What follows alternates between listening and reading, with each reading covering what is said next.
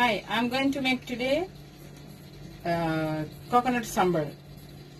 Uh, I'm going to put fresh uh, chilies and uh, onion and salt and coconut, crushed coconut is fresh coconut. And then at later, after grind, then I'll put uh, lemon.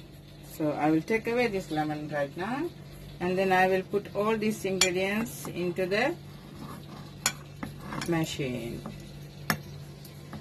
So I will mash it, then I'll show you.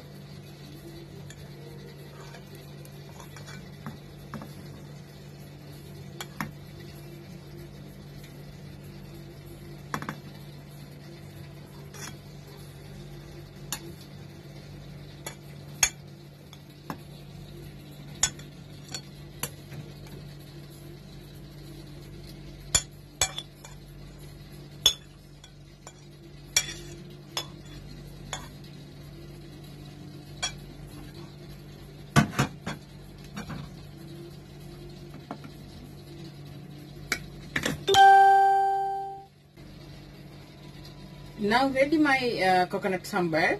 So you can see it is uh, ready to eat. I hope you like my videos. So you can subscribe my videos. Thank you